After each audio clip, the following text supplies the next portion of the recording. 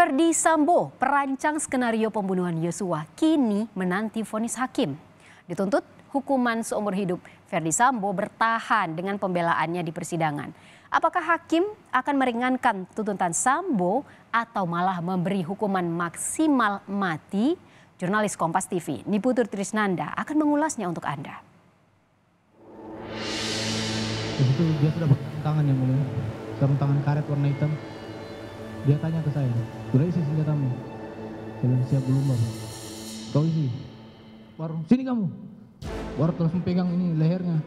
Langsung pegang lehernya. Oh sini. Berutut kau dorong ke depan. Berutut kau situ, berutut. Disuruh berutut. Wih kau berutut. Baru dia lihat ke saya. Wih kau tembak. Kau tembak cepat, cepat kau tembak. Ih pak, kenapa pak? Ada apa pak? Tangannya di depan. Ih pak, kenapa pak? Ada apa pak? Ada apa pak? Habis beliau jatuh almarhum jatuh Efes ini langsung maju yang mulia. Saya lihat dia langsung pegang senjata. Dia pegang senjata dulu dia ke arah almarhum dia ada sempat tembak yang mulia ke arah almarhum. Bagaimana cara saudara F menembak? ke arah bawah yang mulia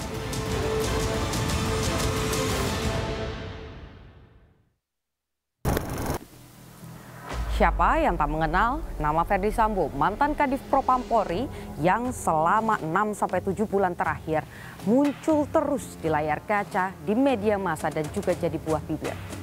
Pekan depan, Majelis Hakim akan menentukan vonis dari Ferdi Sambo. Apakah akan dipidana seumur hidup atau justru ada pertimbangan yang lain? Jasa penuntut umum tentu tak main-main memberikan tuntutan seumur hidup untuk Ferdi Sambo. Karena Ferdi Sambo dianggap sebagai aktor intelektual. Apa yang dilakukan Ferdi Sambo? Mari kita ingat lagi apa yang terjadi pada 8 Juli 2022 di rumah dinas Ferdi Sambo yang ada di Duren 3, Jakarta Selatan. Ini adalah bagian ataupun juga hal yang kemudian berhasil direkam CCTV dan menjadi kunci dari kasus pembunuhan Joshua Huta Barat. CCTV dari arah lapangan basket atau pos security yang ada di Duren 3 merekam bagaimana kemudian Ferdi Sambo nampak turun dari mobil. Senjatanya bahkan sempat jatuh oleh karena itu Romer, ajudan dari Ferdi Sambo sempat berlari ke arah Ferdi Sambo. Kata Ferdi Sambo, kenapa kemudian Ferdi Sambo berhenti adalah karena melihat Joshua Huta Barat, orang pihak yang diyakini oleh Ferdi Sambo melakukan kekerasan seksual pada istrinya saat berada di Magelang. Turun dari mobil, Ferdi Sambo masuk ke rumah dinas yang ada di Duren 3. Langsung meminta anak buahnya untuk memanggil Yosua.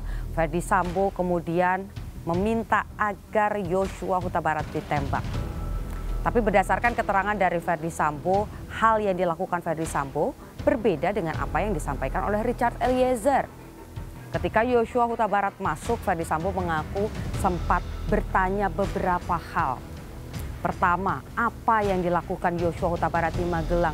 Mengapa tega melakukan kekerasan seksual pada sang istri yang selama ini sudah seperti ibu dan juga keluarga bagi Yosua Huta Barat?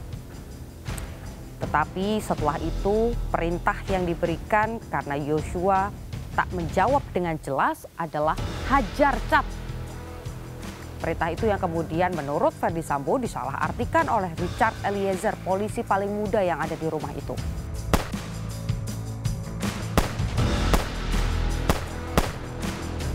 Tembakan terjadi, Joshua masih mengerang.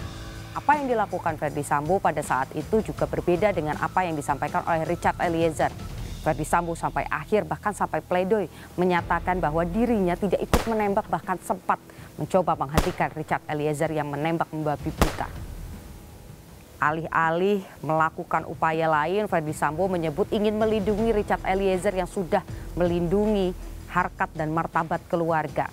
Yang dilakukan Ferdi Sambo adalah menembak ke arah dinding. Beberapa tembakan dikeluarkan dari senjata yang dipegang oleh Ferdi Sambo. Ada yang mengarah ke atas tangga dan juga ada yang mengarah ke arah TV di bagian atas rumah dinas Ferdi Sambo.